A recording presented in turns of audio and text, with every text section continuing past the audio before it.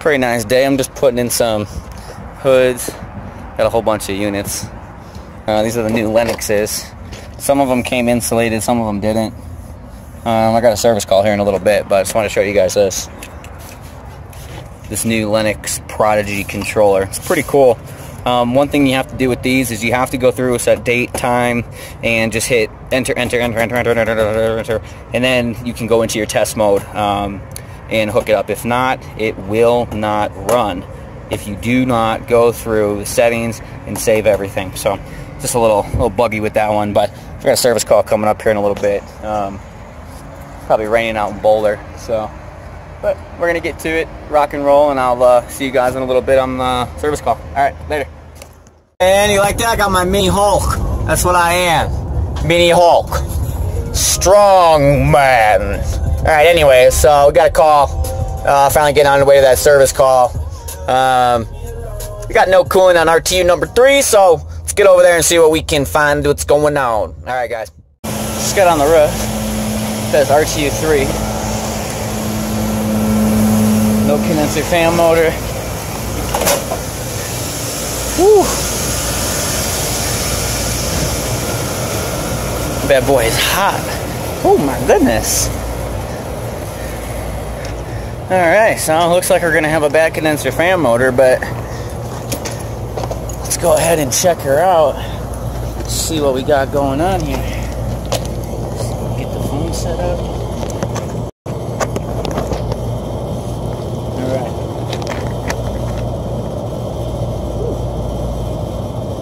Oh, I'm all tangled up.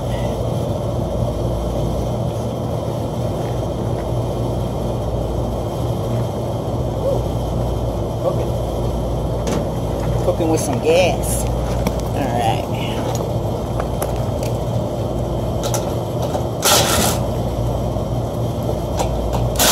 So on the way over here, they said they came up here and that the unit was really, really hot. I told them shut it down. Obviously, it wasn't shut down. That's okay.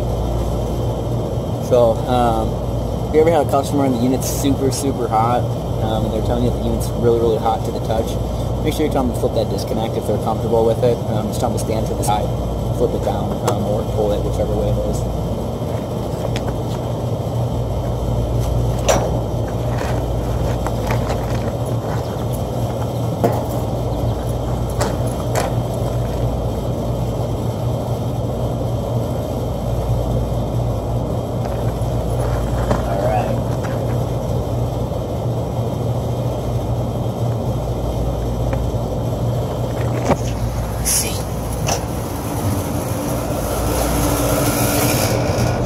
I was hearing vibrating. Okay. Things like that kind of trip me out a little bit. I'm like, was that my unit or no? So, all right, let's get this bad boy unbuttoned.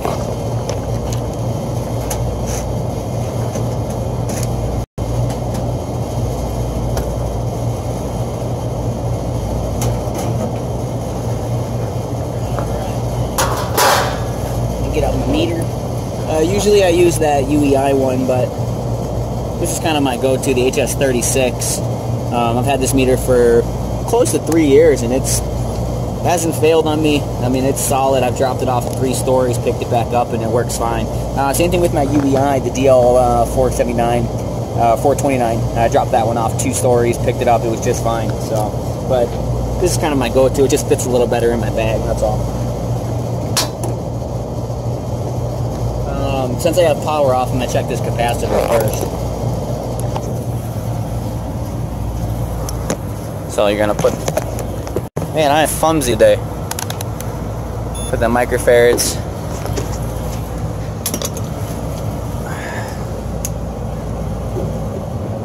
Let's take one of them off. Make sure these are nice and tight. Tighten those up.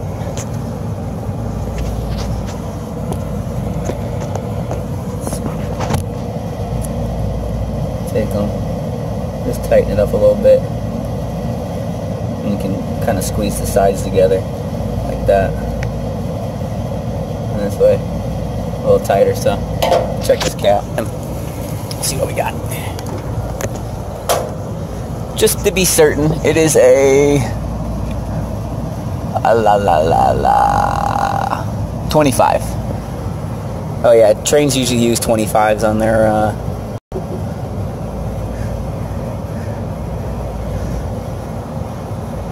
So, that's good. Cap's good. Got a nice view. Super nice view. Alright, so capacitor is good. Leave that there for a second.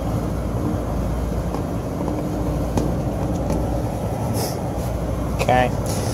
Alright, so normally what I'll do is I'll just grab a screwdriver, come over to the fan motor, try to spin it.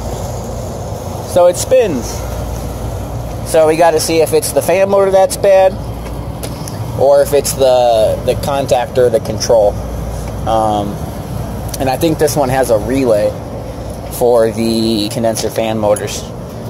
It could be wrong, so we'll find out.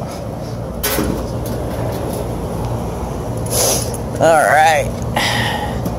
Condenser fan motor. Or is that combustion motor? Hold on. That's combustion, my bad. Should be ODM. So, outdoor motor says CF1. Um, CF1 is the outdoor motor capacitor. So there's your wiring, and it's going to be controlled by a contactor. The CC1 contactor. So I'm going to take these uh, screws out right here real quick and we'll tune right back in. Order the fan motor. It's a 460 volt, uh, two and a half amp Trane. Um, so it's coming in tomorrow. Get that swapped out, but that's at least a diagnosing video. So uh, I'm to go over, we're to do the computer uh, with the tracker Trane set points on this building, see if we can uh, get this building to function properly. Um, got a whole bunch of set points that are out of whack, and I can't change them from the controls that are there. I have to use that crazy old computer. So uh, I'll fire that bad boy up here in just a few minutes, and uh, we'll get onto that one. So rock and roll. All right. On the way to this uh, tracker Trane call, see if we can get these set points adjusted. Figure a little shot of the road. Pretty nice out. Cruising. You know, how we do. Alright, tune back in here in a minute.